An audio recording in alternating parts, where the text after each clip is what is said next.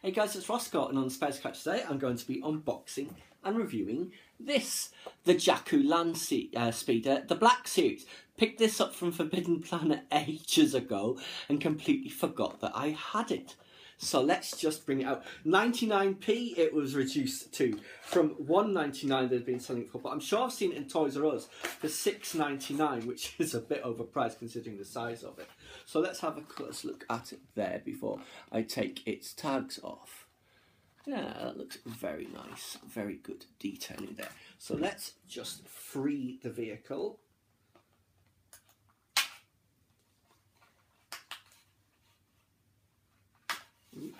As always, paranoid about damaging it.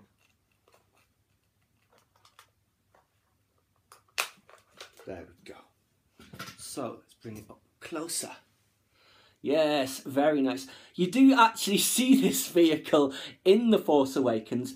The scene where Rey uh, arrives at Niima Outpost in the morning with BB-8 and what is it she says he could still uh, come back for you whoever it is you're looking for and she talks about her family this is going past in the background at that point and i think it turns up again later possibly where the two stormtroopers are talking to two of the inhabitants and then they see uh, Finn and Rey. I think, I'm not sure it's that point, but you do see it a couple of times. Yes, this is very, very nice. And for 99p, it's great. I wouldn't pay any more for it.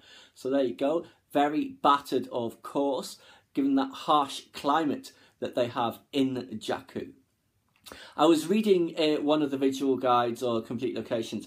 Jakku used to be a very pleasant, temperate world, but some calamity in the distant past caused it to um, become the arid desert that we see now. And I suspect that giant crater that you see on the surface of Jakku, uh, when Kylo Ren's shuttle is leaving the planet going up to the Superstar Destroyer, you see it. And then when Finn and Rey are escaping in the Falcon, uh, from Jakku, you see it there as well. Could be something to do with that. Or maybe that's just from the Battle of Jakku, which hopefully we shall find out in um, Empire's End, the third part of the Aftermath trilogy. The first one I'm reading, and I'm thoroughly enjoying it, by the way.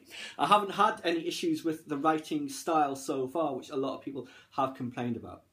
But anyway, let's just pop it on its stand. It has a stand, which also has ties. Oop. One more. There. So let's pop it on.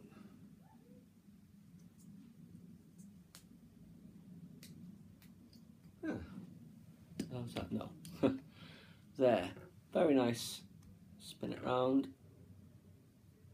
Yeah. For a pound, very happy with this. They also used to have the Scimitar, you know, the Sith infiltrator ship, uh, uh, Snowspeeder, a bunch of other things, which I would have liked to have gotten, but they were a bit overpriced. They weren't reduced to a pound. So anyway, guys, that is just my quick unboxing and review of the Jakku Land Speeder. A fantastic bargain, absolutely, and definitely worth it for a pound. Please subscribe to my channel if you enjoyed this content. Leave me a comment or suggestion for upcoming topic you'd like to see discussed, or like the video.